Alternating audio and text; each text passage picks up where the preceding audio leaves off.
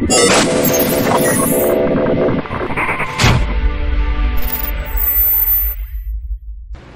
back, everybody, to the world's worst fishing. I'm Chris Jones, and uh, today we're back out in the uh, the, the plastic shop, and uh, and we're going to be doing another plastics episode, um, obviously, but it's not going to be a popular colors.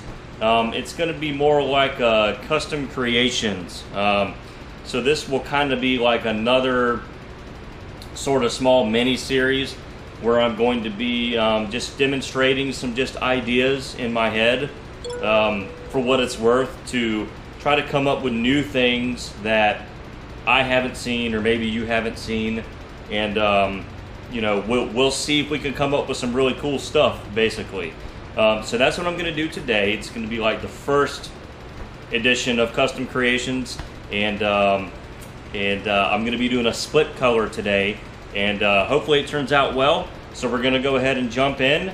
And uh, thank you so much for watching this video, and uh, be sure and like and subscribe.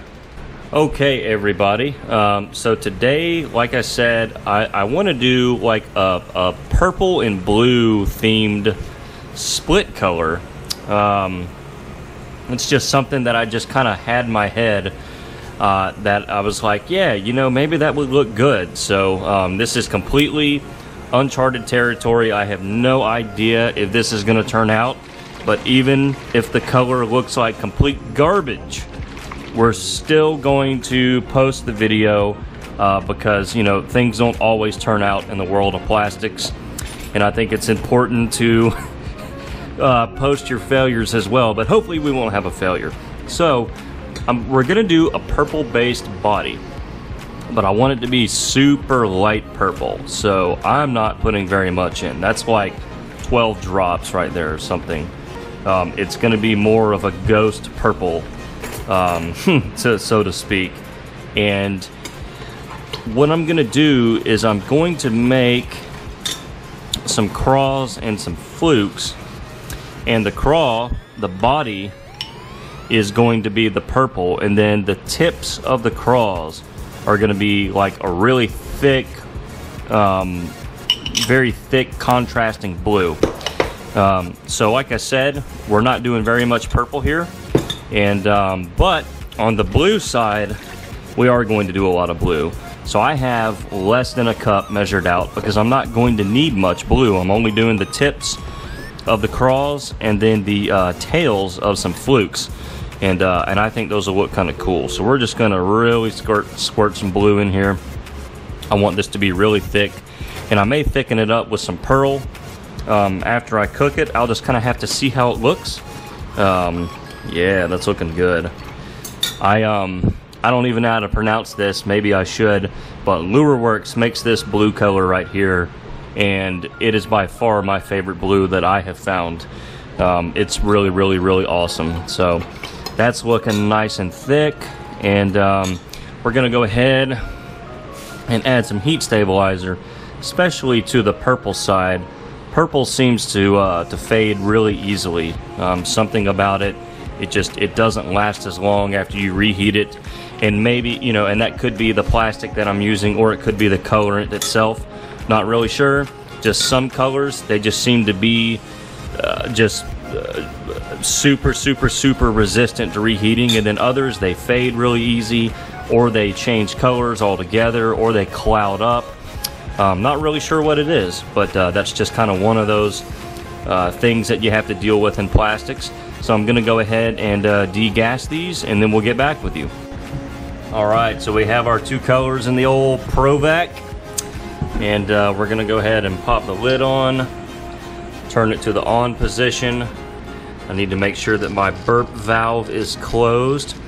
So opening this allows air to go back into the chamber. Um, so that's how you relieve the pressure, so to speak, or the or the lack of pressure, the vacuum, so that you can remove the lid after it's done. So, like I said, we're going to go ahead and get these on there and turn it on, and then we'll get back with you. So I have both cups in there. Um, one is not a full measuring cup, so we'll just do five minutes um, and uh, and see what happens. I'm not exactly sure if that will uh, if that will do the trick, but it should be close. Quick drum lesson while the uh, microwave is is cooking the plastic. I'm going to show you a rudiment called a paradiddle, which uh, the sticking is right, left, right, right, left, right, left, left. So it's basically single, single, double, and then the inverse single, single, double. So you put it together, right, left, right, right, left, right, left, left. Then you speed it up. Really, really, uh, really, really good thing to know if you want to play drums. You can move it around the drum set and you can make some really cool patterns. That's completely irrelevant, and I probably won't do this again, but I was bored waiting on the microwave. Okay, so I had my blue cooked up here, and uh, I like it. I think I'm gonna add a smidge. That's that's what we say in the bait world. A smidge of blue powder, of uh, blue pearl powder, just to kind of give it a little bit thicker and brighter effect. Um, so we're going to go ahead and get that powder mixed in, and um, that will kind of really, I think, make it even more of a um, I can't even think of the word. Oh my gosh, it looks good. I think that will make it even more contrast to to the rest of the bait. Um, okay, so we're gonna move the camera over. Whoops, sorry guys. And uh, we're gonna go ahead and fill some molds here.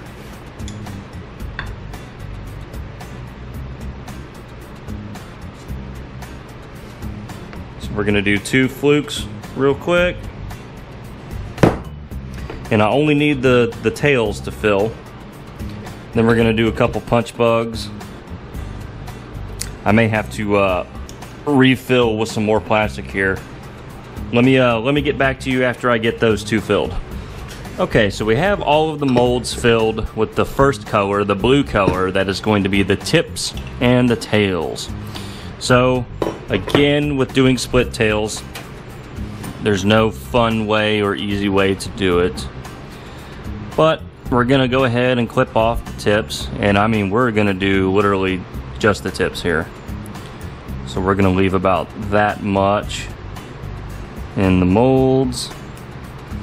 That'll work for that side some molds are easier to do this with than others. Like my swim bait mold's really hard.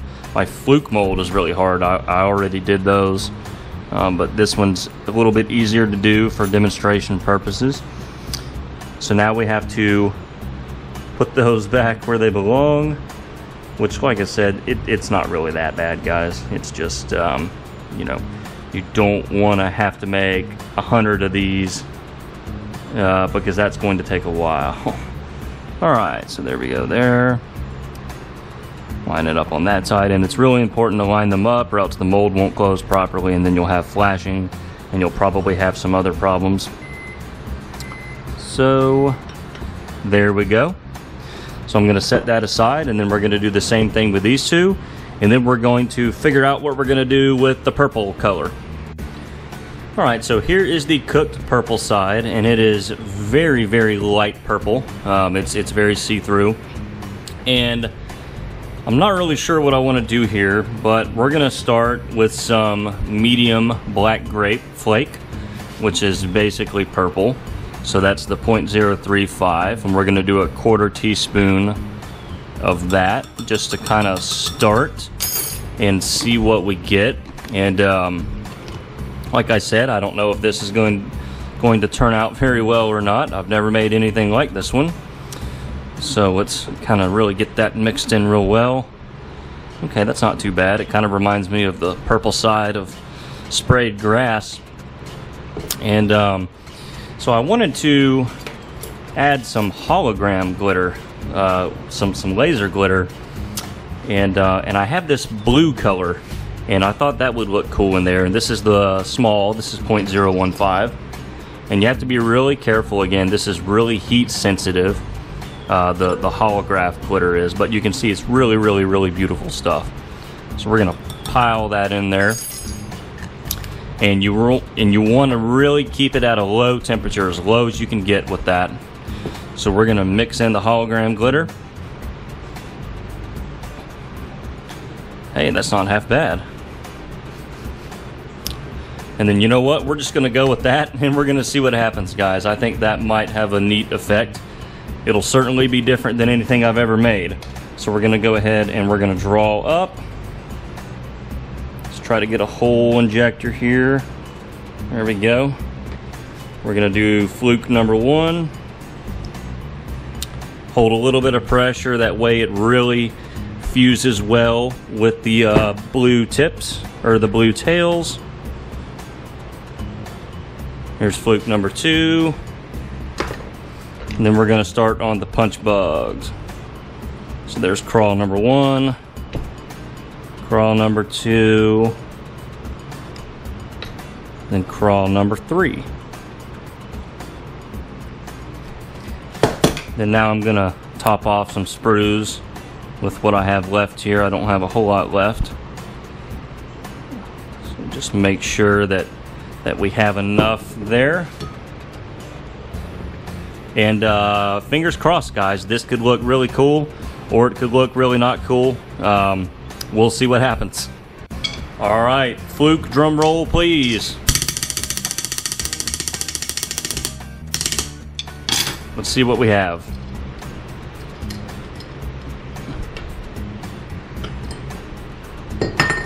Whoa, that's different. Tell you what, if I was going for purple, I got it. Let's take a look over here. Yeah. There we go.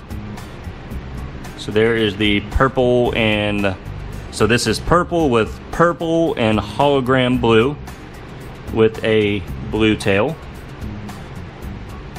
That is wicked. I uh, I almost wish I would have put less flake in it but um, I don't know if that's coming through very well on camera, but there is a really good contrast between the blue bottom and then the body. Um, so we'll hopefully get some better light on those in a minute, and then we're going to take a look at the crawls. All right, and here's one of the crawls. One of the, uh, well, stuck to the top there. Hey, check that out. It's not half bad. That's kind of what I was picturing in my mind. It's definitely different. I don't know of any crawfish that look like that in the wild, but that's not always what it's about. That is really neat, actually. You know, I wonder if I could have maybe put some like little silver flake in the blue, in, in the blue uh, claw tips, but that is, that's different. I will say that much. And um, I would totally throw that. I don't know about y'all, but it's uh, it's different, right?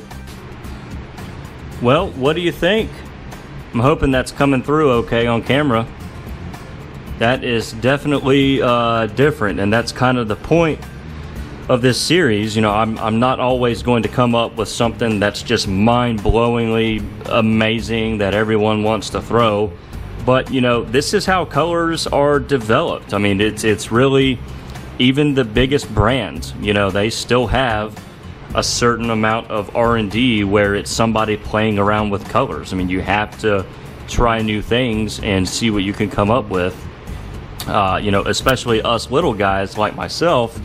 You know, since we don't have the the the cachet of the big brands, we don't have the you know the, the, the, the 30 years of history behind us we have to try to make things different and better and keep recreating new colors. And uh, and that's basically what it takes is somebody just sitting around putting the time in to come up with new stuff. Sometimes it turns out sometimes it doesn't. You know i myself i wouldn't just go wild over this but uh, but it's certainly different. And if I saw it in a package, I would definitely pick it up and look at it. You know, I'd be like, wow, what was what were those guys thinking? That's really interesting. And who knows? You know, somebody may love it. I may get an order for these. I I, I have no idea, but um, that's kind of what we're doing in this series. And that's not bad. I, I wish I would have put less flake in it. It's a little busy, but um, I think we're going to do a lot more of these types of videos and eventually we're going to come up with with some real winners. But this right here isn't a bad start. I had been thinking about this color kind of in my mind, going, hmm, that could look really, really, really cool. And it does. Um, it's not my personal favorite that I've ever done, but that's how it goes. So this is kind of, uh, this series will be exploring new bait colors uh, with Chris for, for whatever that's worth, and, uh, and we'll see what we can come up with. Well, guys, that's going to do it for this video today. Uh, hope you've enjoyed it. Uh, like, like I said, it's kind of a, a new little series, so to speak. Uh, I know I've said that like three or four times, but um, you know, that's one direction I want to take the channel. Uh, obviously, I, I want to do as many fishing videos as I can. I want to do popular colors. I want to teach new plastics techniques, and then I also want to come up with some new colors with you guys. Um, and just see what we can figure out. You know, because I mean, we can we can develop some really cool stuff. Um, you know, I've been sitting around trying to think of new colors for years, and you know, some of them are great, some of them are not so great.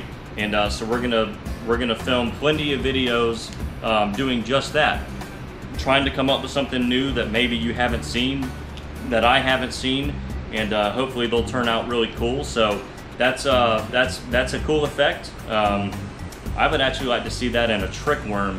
Uh, I think that would probably work better in a trick worm than anything else. So I might have to do some of those here in a little bit with the leftovers.